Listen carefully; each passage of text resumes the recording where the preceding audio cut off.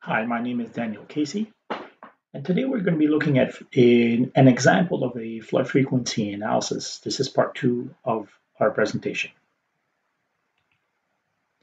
In this example, we're going to be looking at one of the simplest distribution that we can use, which is the normal distribution. The normal distribution is given by this equation right here, where one of the one of the characteristics of the normal distribution is that the mean equals the median which is also equal, equal to, the, to the mode. One important aspect of the normal distribution is that we can work with the reduced variable z, which is equal to, the, to, the, to a discharge value, for instance, minus the mean divided by the standard deviation. Now, although the normal distribution is simple, we do not use the normal distribution in flood frequency analysis, but we, we use the two parameter log normal distribution, which is basically if you take the log of discharge and then the logarithmic of discharge would be normally distribution, distributed. And that's what we're going to do in this example.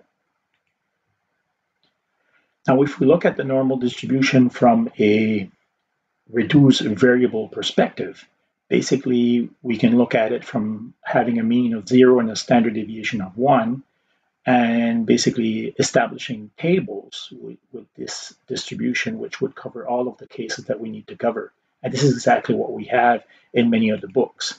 If you look at some of the standard normal distribution table, this is what you get, uh, which is your reduced variable z, for instance, and you have the range of probability from 0 to 0.5, or if you want to look at both uh, part of the graph, you basically add 0.5 to the value here.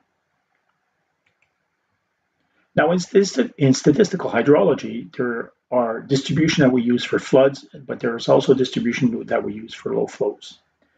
In the case of floods, we can use the two-parameter log normal distribution, which will be the case here.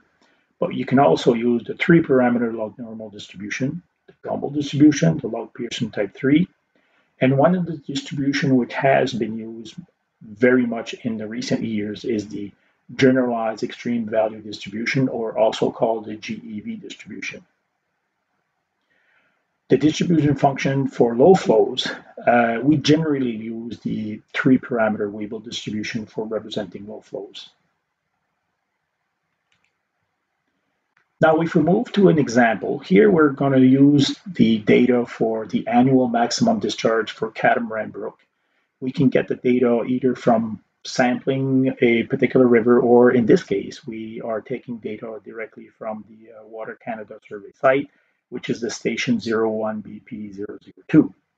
If we extract the data from uh, the website, we get basically the annual discharge for 14 years in this particular case, which would be 1990 to 2003.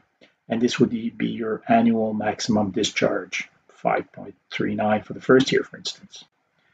Now, the second thing we do is we copy these discharge over and we rank them from the lowest to the highest. So this would be your um, your lowest discharge was in 1999 at 3.68 and your highest discharge was in 1991 at 13.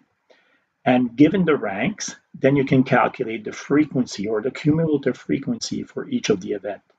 The cumulative frequency is given by this function, n, which is the rank, over n plus 1, which is n here, the large n is the sample size. So it would be 1 over uh, 2 up to 1 over 15 because uh, it's 14 plus 1. And this gives you the frequency as we can see here. Now the next thing is to calculate your reduced variable z of the normal distribution. You can either do that through going through some of the tables, and we will present an example of that in a few minutes, or you can get these values directly from Excel using the norm inverse function here, E1 being the value which you're looking at, which is this value here, and 0 to 1.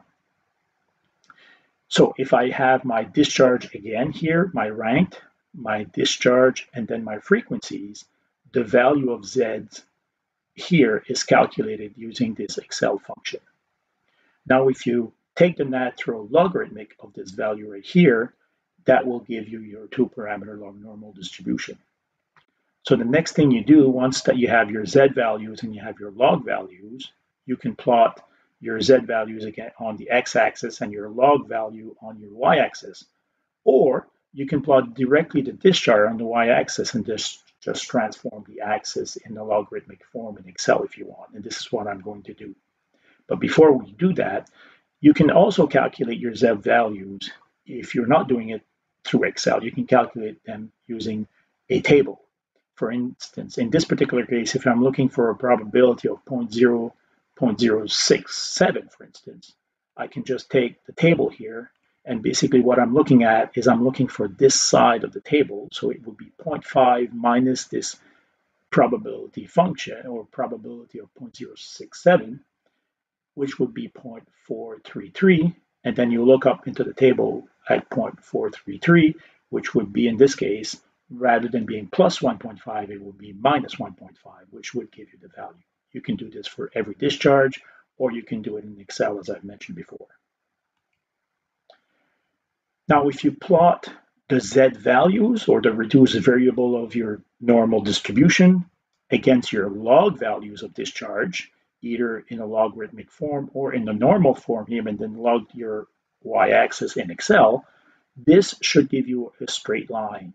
So you only need to plot this, then put a straight line to this, and basically estimate what would you be your 100-year event, your 20-year event, the 10-year flood, and the two-year flood, based on these Z values that you had that you can calculate uh, right here. There's another way of doing this is you can you make the calculations rather than doing it graphically. What you need to do is you take all of your log transform data, you calculate the mean and the standard deviation of your log transform data, and in this case it would be 1.783, and the standard deviation would be 0.363. And you go into the table, as I've mentioned before, uh, to calculate the Z values for every recurrence interval that you're looking for. In this case, I'm looking for recurrence interval between 2 and 100 year. I know the F values. I know the Z values, which I can calculate. And if I plug the Z values, the mean and the standard deviation into this equation, which is basically just the exponential of this value, then I can calculate the discharge QT for the two-year flood, which would be 5.95 and it would be uh, the 100 year flood would be 13.83, for instance. This again is for the two parameter log normal distribution. Now, these plots is the same as the one before. Basically, each observation and each Z values, but the red line here, rather than drawing it yourself on a piece of paper, for instance, basically it's calculated using the normal distribution with log transform data. So that's basically it for this presentation. Carrying out a flood frequency analysis using a simple distribution such as the two parameter log normal distribution is as simple as this.